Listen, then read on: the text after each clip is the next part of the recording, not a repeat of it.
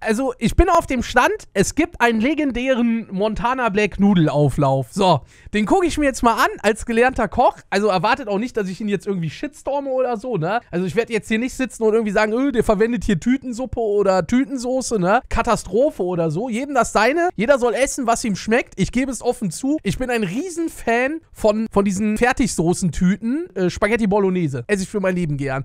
Esse ich fast schon lieber als eine frisch gemachte Spaghetti Bolognese. Aber man kann alles frisch zubereiten. Und ich glaube, das wäre eine coole Sache. Einfach zu sagen, man guckt sich mal an, wie das Fertiggericht ist, wie das zubereitet wird. Und dann versucht man so eine frisch zubereitet Edition zu machen, ja? Ich würde jetzt einfach spontan sagen, wenn ich das auf YouTube hochlade, sollen die Leute mal in die Kommentare schreiben, ob ich einfach mal so einen Nudelauflauf, ob ich so eine frische Edition machen soll davon. Moin, moin meine aktiven Freunde und herzlich willkommen. Ja, heute ist es endlich soweit. Ich zeige euch. Aber man sieht schon, da sind schon viele frische Zutaten, ne? Also das ist ja gar nicht so, dass das jetzt irgendwie so eine, so eine äh, komplette Fertiggeschichte ist, sondern ich sehe hier schon frische Champignons. Da hat er sich schön frische rote Zwiebeln geholt. Sehr, sehr geil. Rote Zwiebeln mag ich über alles. Schmecken eigentlich genauso fast wie weiße Zwiebeln, aber ich weiß nicht. Ich finde, die roten haben einfach mehr Style. Bin ich der Einzige, der das so sieht? Ich finde, rote Zwiebeln, die haben übelst Style. Die machst du in ein Gericht rein und dann sieht das Gericht einfach schon hochwertiger aus. Keine Ahnung wieso. Ich finde es einfach so. So, und dann sehe ich hier auf jeden Fall, ich glaube, das hier könnte Paprika sein, rote. Und hier hat er auf jeden Fall jede Menge Mais am Start. Hier scheint ein Creme fraiche zu stehen. Hier sind die Spirelli-Nudeln. Mal abwarten. Wie ich meinen Nudelauflauf mache. Der eine oder andere macht jetzt die Sitzfall mit der Vergeltung, aber die Nachfrage war wirklich da. Hm? Finde ich jetzt nicht. Wer das gerne isst. Der eine oder andere Aktive weiß ja, dass Nudelauflauf mein absolutes Lieblingsgericht ist. Und dem Geil. Ich esse auch sau gerne für mein, also für mein Leben gern Nudeln. Sieht man mir aber auch an. Dementsprechend zeige ich heute, heute, heute mal, ja, wie ich das Ganze zubereite. Und äh, ja, Kochvideos habe ich noch nie gemacht. ja, und ich würde einfach mal sagen, ich zeige mal die Zutaten. So, Freunde, das ist das Paket um. Okay, da sieht man es schon. Ja, Fusilli, Creme Fraiche, ja. Da sind Paprika, Mais. Hier ist Kleingeld. Bisschen Edamer am Start. Okay, das wäre jetzt nicht so mein Fall. Ich muss sagen, Käse bin ich ganz speziell. Da mag ich eigentlich fast nur Gouda. Das würde ich mit Gouda austauschen. Mozzarella, geil, Alter. Strong. Und dann Ofenspirelli alla Mama. Das ist. Ey, das kann nur lecker werden. Ich sag's nur, wie es ist. Leute, ihr werdet jetzt denken, ey, was labert der G-Time da? Der ist gelernter Koch. Warum sagt er, das ist lecker, ne? Aber, ey, Freunde, hört mir zu, bevor ihr jetzt anfangt rumzuflamen, ja? Wenn ihr jetzt sagt, ey, ne? Dann probiert mal, mein Tipp, Ofenmakaroni à la Mama. Das ist saulecker. Das geht in eine ähnliche Richtung. Das ist ein bisschen weniger mit Gemüse, ne? Das ist ein bisschen so mehr für stämmige Leute wie mich, ja? Aber das schmeckt sehr lecker. Ich koche jetzt so, als wenn ich für sechs Mann koche. Also äh, ich möchte den Nudelauflauf dann noch die nächsten Ja, kann man die nächsten Tage noch essen. Geil. Tage essen. Mengenangaben etc. müsst ihr dann selber kalkulieren. Und ja, wir fangen mal an hier. Das ist die Fixtüte. Es gibt zwei Varianten, auch noch eine mit Schmand und Tomatenmark, aber das ist die etwas leichtere hier. Schmand und Tomatenmark, okay, alles klar, ja. Von Ofenspirelli, das ist, äh, beziehungsweise von Maggi, Mit Oregano verfeinert. Ofenspirelli à la Mama. Äh, davon habe ich jetzt zwei Packungen geholt. Ihr könnt, wie gesagt, aber auch eine Packung holen. Dann haben wir zwei Packungen Käse, Edamer, Creme Fraiche. Scheiße, ich habe den falschen Creme Fraiche geholt. Ja, naja, egal, macht nichts. Normalerweise ohne frische Kräuter, ist klar. Dann haben wir hier einmal die Nudeln.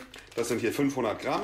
Dann haben wir noch Mozzarella, frischen Mais, geschnittene Paprika, rote Zwiebeln und frische Champignons. Krass, strong, Alter. Alles vorgeschnitten schon. Das sind alles Sachen hier, die normalerweise laut diesem äh, Paket hier nicht da rein sollen. Auch Käse, müsst ihr euch mal vorstellen. Ich hau hier 400 Gramm Käse rein und die schlagen mir hier 50 Gramm Käse, hier nochmal 50, also 100 Gramm. ja, und Finde ich sau geil. äh, das äh, bereiten wir jetzt hier mal alles vor. Was ich noch vergessen habe, Hack. Ohne Hack geht beim Nudelauflauf nichts. Den werde ich jetzt ganz knusprig anbraten. Okay. Ich hoffe aber zum, äh, ich hoffe, er nimmt nur Rinderhack. Ich weiß nicht. Ich sag's ganz offen, Leute. Ich bin gar kein Fan von Schweinehack oder halb und halb. Hass ich wie die Pest. Schweinehack finde ich sau widerlich. Eine Sache noch zum Thema Nudeln. Laut Verpackungsangaben Auch wenn ich aussehe wie ein Schwein. soll man die Nudeln umgekocht äh, einfach dazugeben. Mache ich nicht. Einfach aus dem Grund, weil ich Probleme hatte, dass die Nudeln dann zum Teil noch hart waren. Ein, zwei Minuten im warmen Wasser, dass sie ganz leicht aufweichen. Man darf sie auch nicht zu lange drin halten, weil dann werden sie matschig. Aber die Nudeln ganz kurz in warmes Wasser geben, mache ich persönlich immer so. Also das Hack sieht für mich eher so aus, als wenn das gerade so ein bisschen am Köcheln Dann nehmen ist. wir die Sachen dazu. Das schütten wir da einfach mit rein. Oh yeah, Digga. Glaub mir, das äh, ist absolut todesköstlich. So rote Ich hätte es auf jeden Fall noch ein bisschen mehr angebraten, dass es ein bisschen mehr, wie soll ich sagen, Röstaromen entwickelt. Ist ja alles Geschmack, ne, der hinzukommt. Zwiebeln, da werden auch nicht gegeizt. Ich persönlich stehe auf rote Zwiebeln. Und jetzt, ich hätte fast die Münzen da genommen. So, und jetzt noch Champignons. Easy. Na, rein mit dir. Und, warte. Da ist ja noch einer. Na komm. So, und das wird jetzt gut durchgerührt. Easy. Und dann Finde ich geil. Einfach, einfach den Pilz reingezogen. Boah, wird so lecker sein. So, wenn dann das Gemüse gut durch ist, kommt dann noch ein Liter Wasser rein, weil ich zwei Packungen habe, pro Packung ein halber Liter. Das habe ich jetzt gemacht mit einer Flasche Wasser, weil ich keine, Ma keinen Maßbecher hier habe. Scheiß drauf, wer braucht es auch. Ja, und dann ist es ganz Ey, ich find's so geil, wie der kocht, ne? Ich find das so geil. Ich kann mir auch vorstellen, wie sich einige Leute übelst darüber aufregen. wenn ich schon sehe, wie die Leute manchmal in meinen Streams sich aufregen, wenn ich irgendwelche Kochstreams gemacht habe, kann ich mir vorstellen, wie sich manche da richtig aufregen deswegen. Ganz einfach. Dann packt ihr einfach die Tüten, die in dem Fall dann den Geschmack ergeben, haut ihr hier mit rein. Zack. Easy. Ah. So, zwei Stück. Let's go. Und dann einfach mit dem Schneebesen. Champignons raus, dann perfekt. Ja, Pilze sind sau strong. So, so sieht das Ganze dann aus. Schön einmal blubbern lassen, das ganze Zeug. Gut durchrühren, damit sich keine Klumpen setzen, ist klar.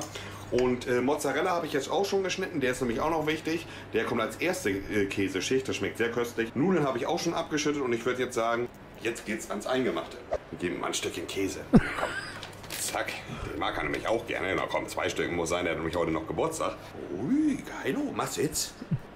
Der weiß auf jeden Fall, was jetzt los ist. Pfötchen. Aber unsere Hunde waren da auch nicht anders. Die waren so nervig, wenn du irgendwas gemacht hast. Du gehst in die Küche, machst dir ein Brötchen, holst die Wurst aus dem Kühlschrank. Da standen die schon an der Tür und haben geguckt.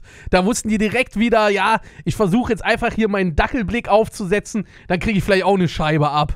Da hat sich das Warten gelohnt. So, wir fangen dann an, Nudeln reinzumachen. Ui, die sind aber heiß, aber mit einer Hand filmen. Oh, das wird auch noch richtig schön geschichtet, abwechselnd. Alles klar. Ich habe jetzt ehrlich gedacht, der kippt die Nudeln einfach rein, Soße drauf, bisschen Käse drüber, dann den äh, Mozzarella verteilen. Aber, ja, da werde ich jetzt eines Besseren belehrt. Was ich mal ganz gerne mache, ist Käse schon oben rauf, aber nicht zu viel. Digga, das ist so bodenlos mit den ganzen Käse. Ich feiere das so sehr.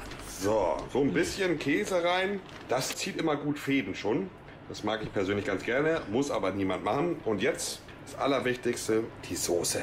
Oh ja, das wird köstlich. Das Ganze drücken wir dann gleich nochmal richtig platt, damit wir auch schön dicke Schichten haben. Die Auflaufform ist auch nicht im Übrigen die größte, das heißt, ich werde jetzt gar nicht alles reinbekommen. Den Rest werde ich mir aber in den Kühlschrank tun und einfach nochmal morgen oder übermorgen nochmal den Nudelauflauf anmachen. So, rein damit. Oh, das sieht aber köstlich. Das ist die erste Schicht. Die drücken wir jetzt schön platt. So, oh, da passt aber nicht mehr viel rein, aber eine Schicht Nudeln geht auf jeden Fall noch und dann wieder Soße rüber. So. Also die Nudeln haben wir fast alle verbraucht. 500 Gramm waren das, wie gesagt. So, und jetzt noch mal wieder schön Soße. Jawolski. So, jetzt haben wir wieder Soße. Das Ganze drücken wir noch mal platt. Und jetzt kommt das Wichtige. Ihr nehmt als allererstes den Mozzarella und legt einfach ein paar Schichten. Zack. Und jetzt Schmilzt ja sowieso alles. Und nochmal schön Käse, geil. normalerweise draufkommt.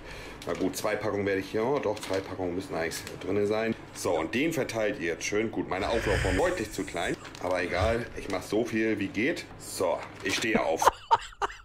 Überbackenen Scheiß und äh, dementsprechend geiz ich auch nicht mit dem Käse. Ja, moin, alles runtergefallen. Oh, gut. Ahoi.